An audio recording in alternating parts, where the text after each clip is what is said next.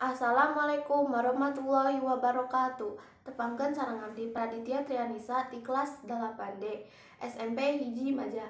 Abdi pade ngadongeng anu judulna si pecang jeung biruang. Ayah hiji biruang coklat awakna lintuh. Manehna sok kataji lamun ngadenge manuk ricit disarada nyanyi galung bira.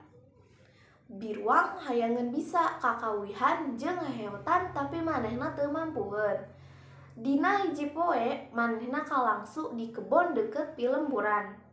Manehna hookeun nempo budak angon anu keur niup suling sorana halimpun naker biruang balik di kaleuweung tuluy nyaritakeun pangalamanana kasih pecang hiji poe si pecang ulin. manehna nepi kana dapuran awi. Kusabab capek manehna ngaso di tempat eta. Keur kitu kadenge sora rereketan awi. Anu lumayan halimpu sanajan teu halimpu kawas sora suling.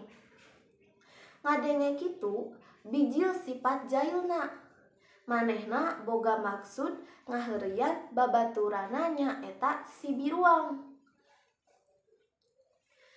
si pecan nulumpatan neangan biruang. Akhirnya kapanggih manehna keur mandi di hiji talaga. Cang yap urang ngeem. Hawa kasida panasna. Hei biruang cek pecang apanan anjen resep musik?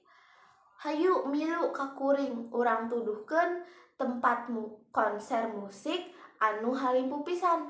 Wah nu bener Cang. Hayu orang endit Tika anggangan si biruang ningalikan si pecang anu kerniup suling.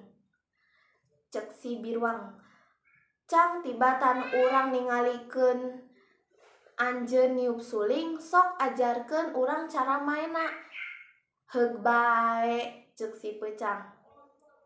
Sok elelkeun letahna ka sela-sela suling.